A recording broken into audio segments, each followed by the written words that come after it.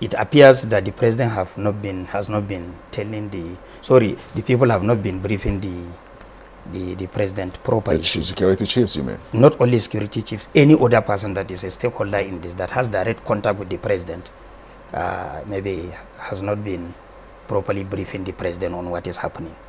But with this kind of interaction, president may hear something that he did not hear in the past. Let me give you an example. For instance, the service chiefs, whenever we invite them, they will tell us that they have logistics issue, personnel issue, they have issue of weapons and so on and so forth.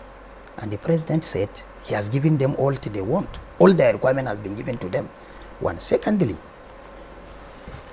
they have been telling the people, they have been telling Nigerians that people are free now to go to certain extent to go and do farming and so on and so forth. I've been telling people that they have succeeded in recovering only local government headquarters as hitherto occupied by Boko Haram. In other words, areas hitherto occupied by Boko Haram, particularly the 22 local governments areas that was recovered by this government under the leadership of President Muhammadu Buhari, succeeded in recovering only local government headquarters because no one could venture one kilometer away from every local government headquarters.